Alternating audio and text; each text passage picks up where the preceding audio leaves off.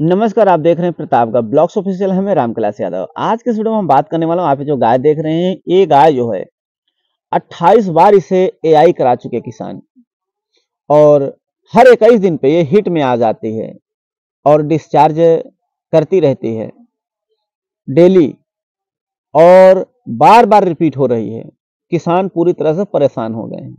अगर आपकी पशु इसी तरह से बार बार रिपीट कर रही है बार बार हिट में आ रही है, गर्भवती नहीं ठहर रही है तो ये वीडियो आपके लिए काफ़ी इंपॉर्टेंट है। वीडियो थोड़ा बड़ा हो सकता है, लेकिन इसमें संपूर्ण जानकारी आपको मिलेगी। ये किसान पार्ट एक है।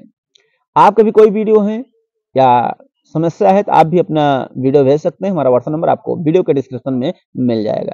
अगर हम किसान भाइयों, बात कर लेते हैं इस, गाय का।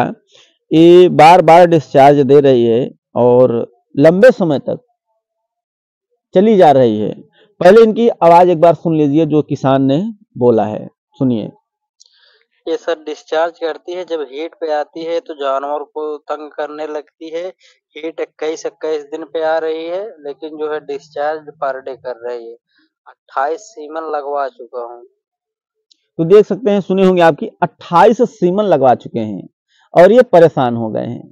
तो देखिए इसमें कई दिक्कत हो सकता है कई कारण हो सकते हैं। तो हमें हर चीज़ पर ध्यान देना होगा। देखिए, जैसे कि गर्भवती ना होने के कितने कारण हो सकते हैं? हमें ये समझना होगा।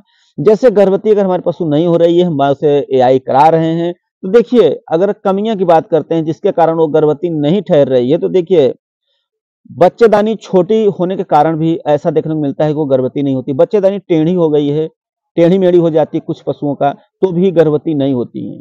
टेढ़ी मेढ़ी मतलब जब भी एआई करा जाता है, गन जब उसमें डाला जाता है तो सही जगह पर वो नहीं जाता।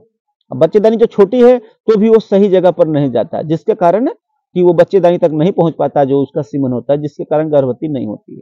और बच्चेदानी का इन्फेक्शन बच्चेदानी अगर इन्फेक्शन हो गया हमारे पशु में तो भी जो है हमारे पशु गर्भवती नहीं ठहरती। और जैसे कि पशु हमारी लंबे समय तक हीट में रह रही है, हमें पता ही नहीं चल रहा है कब तक हीट इसका होता है, अड़तालीस घंटा या उससे ज़्यादा होता है। तो जैसे हम पहले ही उसको एआई कर देते हैं, अधिक हीट पर है तो भी गर्भवती होने के कम चांस होते हैं। तो ऐसे में क्या है? हमें क्या करना है? तो सबसे पहले हम किसान बात बताना चाहूँगा कि सबसे पहले आपको एक पता करना होगा, जो भी आपके डॉक्टर है, नजदीकी डॉक्टर है, पशु डॉक्टर उनसे ज़रूर बात करिए कि ये न गर्भवती होने के क्या कारण हो सकते हैं। तो खुद बताएँगे कि बच्चेदानी टेढ़ी है, या बच्चेदानी में गांठ है, या बच्चेदानी इन्फेक्शन है, या इसका लंबे हीट है, क्या समस्या है, वो ज़रूर आपको पता चलेगा। लेकिन एक बात और ध्यान रखना है। जैसे कि देखने को मिलता है, जैसे आपके पशु, आप बार बार एआई करा रहे हैं, आपके पशुओं में कोई भी दिक्कत नहीं है, कोई समस्या नहीं है, और बार बार एआई ही करा रहे हो तो एक बार आपको चाहिए कि अगर हिट में आ रही है, अगर इतना सब हो रहा है तो एक बार ज़रूर करना है कि आप बुल के पास ज़रूर ले जाएँ। सांड जिसे कहते हैं, बछड़ा जिसे कहते हैं, अगर आपकी गाय इस तरह का समस्या कर रही है तो बुल के पास ज़रूर ले जाना। बुल यानी सांड। तो ऐसा देखने को मिला है कि जो एआई से हमारे पशु नहीं रुकती हैं, वो बुल यानी सांड से रुक जाती हैं। कुछ पशुओं में ऐसा भी देखने को मिला है, गायों में या भैंस में भी देखने को मिलता है कि वो एआई से नहीं गर्भवती ठहरती। तो उसे बुल से दिखाने के बाद वो गर्भवती हो जाती है। हमने भी ऐसा देखा, हमारे पास गाय थी, उसको हमने तीन से चार बार एआई कराया, गर्भवती नहीं हुई। लेकिन फिर जब उसके बाद हिट में आई तो हम भी परेशान हो गए थे। फिर हमने उसको बुल से दिखाया, और बुल से दिखाने के बाद गर्भवती हो गई और गर्भ धारण कर लिया। तो ऐसा भी समस्या देखने को मिलता है। आप एआई के ही भरोसे बहुत बार बार न रहिए। सबसे पहले अब इसके बाद अगर आप ऐसा ऐसा लंबे समय तक ये जो है कर रही है ना तो इससे जो है आप एक बार बुल से दिखा दीजिए। उसके बाद अगर फिर हिट में आती है बुल से दिखाने के बाद भी अगर दोबारा हिट में आती है, तब हाँ आपके पशु के अंदर कुछ न कुछ कमियाँ, कुछ न कुछ समस्या, दिक्कत हो सकती है। तो उसके लिए आप अपने नजदीकी जो भी पशु डॉक्टर है, उनको ज़रूर बुलाइए। उनसे आप दिखा सकते हैं कि देख लीजिए सर, हमारे पशु में क्या समस्या है, जिसके कारण बार बार ए कराना पड़ रहा है और बार बार ये रिपीट हो रही है। तो उस समय आपको देखने को मिल जाए। जैसे कि अगर बता देंगे भाई इसके अंदर बच्चेदानी की इन्फेक्शन है, बच्चेदानी टेढ़ी है, बच्चेदानी में गांठ है, या जो है बच्चेदानी की सफ़ाई कराना है मतलब जो भी समस्या होगी, वो पशु डॉक्टर ज़रूर बता देंगे। और जैसे समस्या है, क्या समस्या है, अगर बता देते हैं, उसके हिसाब से उसका जब इलाज किया जाएगा तो वो गर्भवती हो जाएगी। और जैसे कि अभी डिस्चार्ज कर रही है पतला पतला पानी पानी जैसा डिस्चार्ज है तो देखिए अगर पानी जैसा डिस्चार्ज दे रही एआई कराने के बाद तो, तो गर्भवती होने का कोई चांस रहता नहीं है। अगर पानी जैसा डिस्चार्ज देखने को मिलता है तो गर्भवती होने का चांस नहीं रहता ना के बराबर समझे। नहीं बिल्कुल नहीं रहती।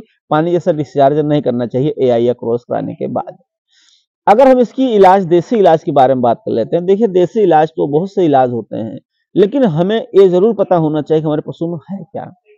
जैसे अगर हमारे पशु जो है उसके बच्चेदानी में कोई समस्या है जैसे कि बच्चेदानी छोटी हो गई है, या बच्चेदानी में गन पास नहीं हो रहा है तो गन ऐसी जगह पर ऐसे गन जो एआई करते हैं, उनको तो क्या है, कुछ पशु डॉक्टर बता देते हैं कि ऐसा समस्या है, लेकिन कुछ पशु डॉक्टर नहीं भी बताते उनको सिर्फ़ पैसे से मतलब है एआई किए, पैसा लिए, चले गए।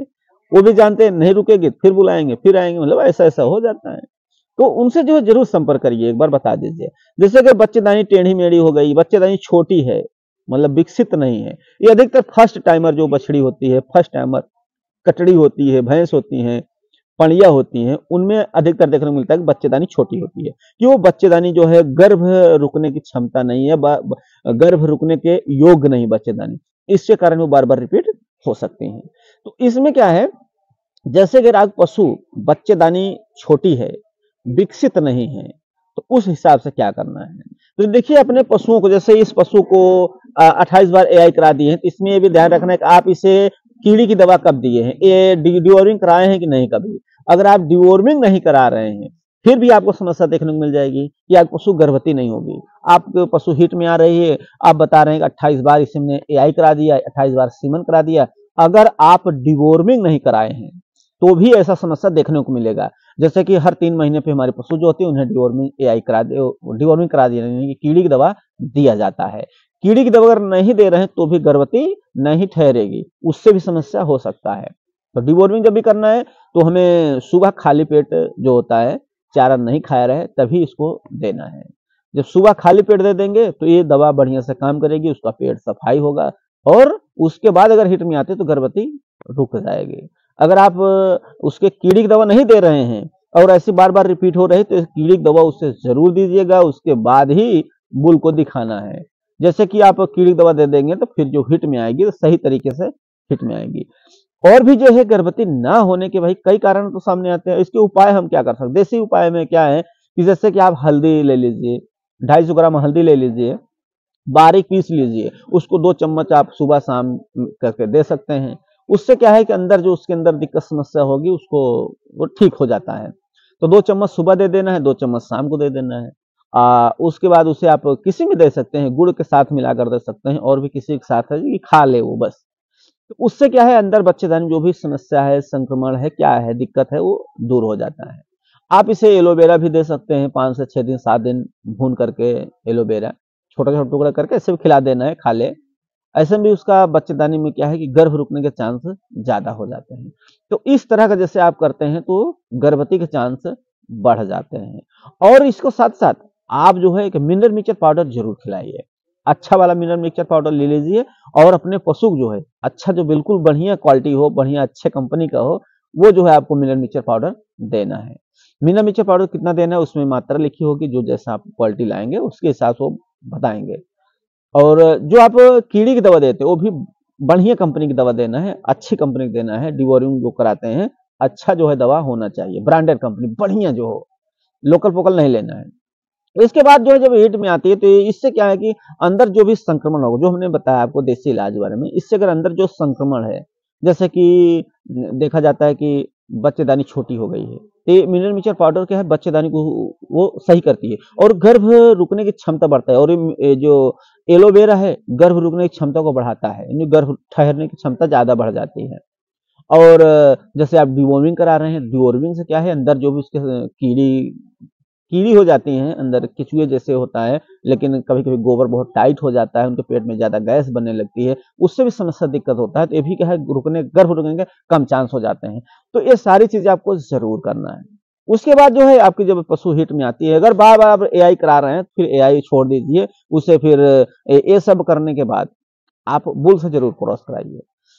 उसके बाद जो है वो गर्भवती ठहर जाएगी। और जो भी समस्या होगा, हम किसान से ही करना चाहूँ, उसे एक बार अपने नजदीकी पशु डॉक्टर को दिखाइए, उनसे बात करिए, क्या समस्या है। तो समस्या के हिसाब से आप जो है पशु डॉक्टर से भी आप दवा करा सकते हैं, जो भी होगा उसके हिसाब से दवा कर देंगे। लेकिन जब इतनी बार आप एआई करा रहे हैं तो आपका फ़र्ज़ बनता है कि पशु डॉक्टर से ज़रूर पूछिए कि ये क्या कारण हो सकता है। कुछ न कुछ कारण ज़रूर है जो इतना जो है बार एआई किया जा रहा है और गर्भवती नहीं ठहर रही है वीडियो अच्छा लगे तो लाइक शेयर कमेंट ज़रूर करिएगा। वीडियो देखने के लिए धन्यवाद। चैनल को सब्सक्राइब ज़रूर करें।